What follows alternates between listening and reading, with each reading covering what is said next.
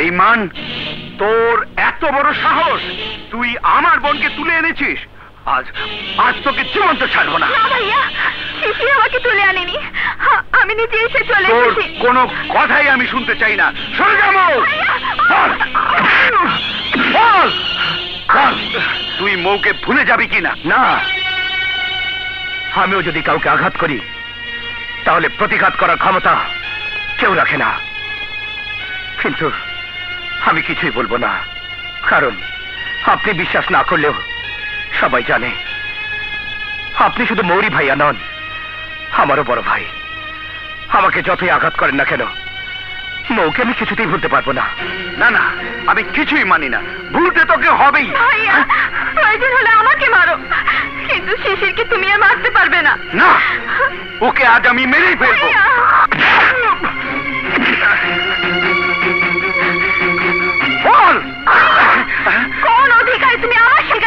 তুলেছো অধিকার।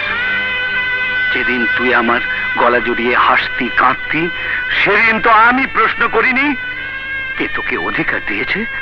যখন তোকে শত ঝড়ঝাপটা থেকে বাঁচাবার বুকের আড়াল করে রেখেছি, সেদিন তো অধিকারের প্রশ্ন ওঠেনি। অনাহারে, অর্ধাহারে আট পেটা খেয়ে তোকে মানুষের মতো মানুষ করে তুলেছি। তখন তো ভেবে দেখিনি অধিকার কাকে বলে। আমার বাড়ি গাড়ি ইন্ডাস্ট্রি কোনো কিছুরই প্রয়োজন নেই। আমি আমি তোর ভাই হিসেবে তোর মায়া মমতা নিয়ে বাঁচতে চেয়েছিলাম।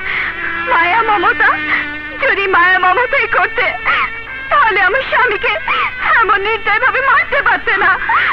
তোমার অনেক ভালোবাসা পেয়েছি। হ্যাঁ, আর প্রয়োজন নেই।